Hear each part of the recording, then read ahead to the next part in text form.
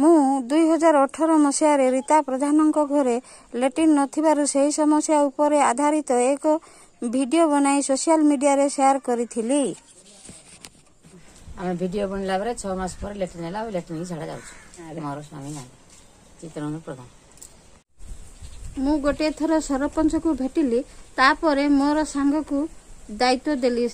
ମୋର ସାଙ୍ଗ ମମତା ସେହି ଗାଁର ହୋଇଥିବାରୁ ବାରମ୍ବାର ସରପଞ୍ଚକୁ ଭେଟି ଲାଟ୍ରିନ୍ ସାଂସନ କରାଇଲେ।